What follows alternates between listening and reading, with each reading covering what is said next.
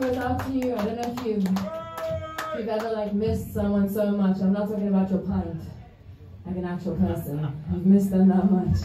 This song goes out to you.